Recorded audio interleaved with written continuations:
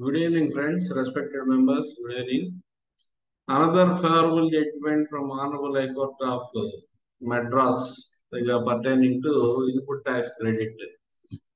The final conclusion from the Honorable High Court is if we satisfy the three conditions, one, two, three, you are eligible for the input tax credit.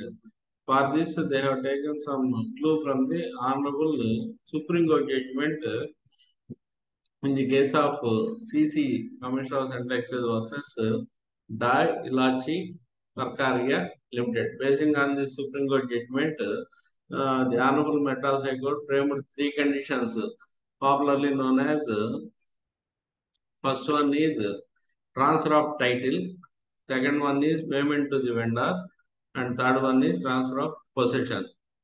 If the buyer satisfies all the three conditions, he is certainly eligible for the input tax credit.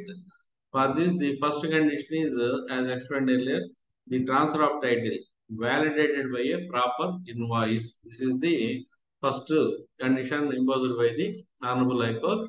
That is transfer of title validated by a proper invoice. And second one is payment to the vendor. This must be through any legitimate means. That uh, other words, in other words, it is through banking channel, either check, DD, RTGS, NEFT, PhonePe, etc., etc. Through any legitimate means. This is the second condition, payment to the vendor. It must be proved through legitimate means. And the final condition, third one is uh, transfer of possession. This must be evidenced by an e-way So if we satisfy all three conditions, I will explain once again. Transfer of title validated by a proper invoice, payment to the vendor through any legitimate means, and transfer of possession evidenced by an e-way bill. If we satisfy all the all the three conditions, you are eligible for the input tax credit very very certainly. For this, uh, the reference got from the Supreme, Honorable Supreme Court judgment in the case of CC versus Dialogy Karkaria Limited. So finally, though judgment pertaining to erstwhile Tamil Nadu VAT Act, the input tax conditions, stipulations, procedures, everything uh, more or less common under Central Excise Act, Service Tax Act, VAT Act, and now under GST Act. Finally, the conclusion is uh, don't put any pressure for sellers payment for sellers payment uh, to claim the input tax credit. This is the final conclusion from the uh, Honorable High Court. ITC should not be denied due to seller's failure to remit the tax.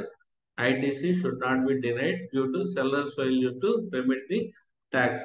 Conclusion if we satisfy all the three, if the dealer satisfied all the three conditions, uh, as explained earlier, the dealer is certainly eligible for input. So reported in Tax Guru website in the case of Sahyadri Industries uh, Limited versus State of Tamil Nadu, judgment pertaining to Tamil Nadu VAT Act. Though it is pertaining to VAT Act, uh, we can get some clue and we can strengthen our case to claim the input tax rate and to give suggestion to our clients and dealers also can rely on the judgment uh, to protect their legitimate input tax credit. Kindly go through Tax Guru website and frame your own opinion accordingly. Thank you. Namaste.